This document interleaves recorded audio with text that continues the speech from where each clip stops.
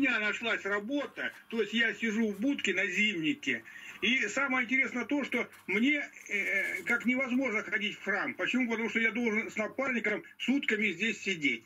Вот, вот, э, вот такая вот беда. Ну это у вас как, ну, как часто бывает? До 25 числа я никуда не должен выходить отсюда. Ну, это, вы сторожем работаете?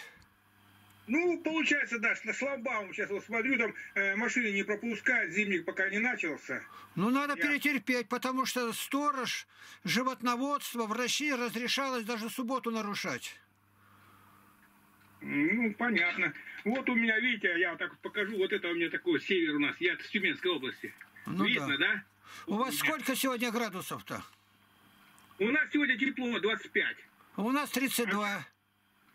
А у нас 37 было, 38. 38?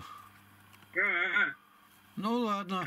Ну все, так что вам можно дежурить, если по-другому нельзя. Вы же устраивались на работу, знали, что так будет? Нет, там немножко не так думал. Я думал, мы по очереди будем. Они сказали, нет, вот регламент такой, что вы обои должны здесь быть. Ну, ну я, если вы покинете эту работу, вам ущербно будет?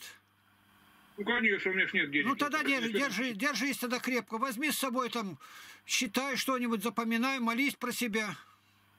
А я с вами все, время общаюсь. Ну, тем более, все. Так что успокой сердце свое. Ничего тут нет такого. Христос. Алло. Я просто, знаете, что хотел еще э, спросить? Вот, то есть не сказать, спросить, а сказать.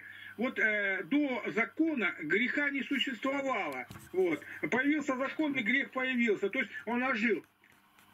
Да ну... Э, поэтому я в отношении себя, вот у меня раньше что-то такое я мог допустить делать, сейчас я боюсь этого даже думать. Вот э, я что, закон как бы уже наш Господь открыл мне сердце, да, вот в отношении моей греховной такой природы, что...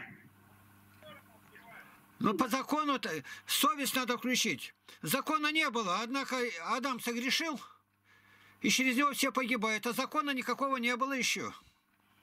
Так что по закону говорится то, что не входит тут, допустим, что-то надо делать такое, вот во времени работать или что-то. Вот эти, ну, не принес жертву, там, барана не отдал. А когда совесть подсказывает, что нельзя вот то-то, то-то делать, тут и закон не надо. Мы читаем 11 глава послания к римлянам, что не зная закона, он в себе закон. И вот люди живут на острове, никогда ничего не знали, а живут честно. И Господь будет судить их не по закону, а по совести. Вот об этом четко ясно сказано. Так что ну, дер... держись. Это которого слышится Бог, да? Да. Так что ну, я... закона пока и не было, а грех так и был. Все, люди в ад шли, иначе бы они согрешили. Богач говорит, Господь притчу рассказал, он не помогал. Совесть говорила, собаки лижут, рану облегчают. А он не подал, что крошки со стола падали. А закона-то у него не было. Закон совести. И поэтому совесть, Златоуст говорит, первичнее, то есть она старее закона. А как же люди до Ноева потопа, после потопа, еще до Авраама это сколько лет было, тысячелетия? И однако это все служило к погибели. Совесть. Это главный стержень. Ну вот так. А, а что такое совесть? Я говорил, это тот участок души, через который слышится голос Божий. Бывает человек бессовестный, ему плюет в глаза, он говорит, Божья роса. Ну все тогда. Отошел с Богом, да.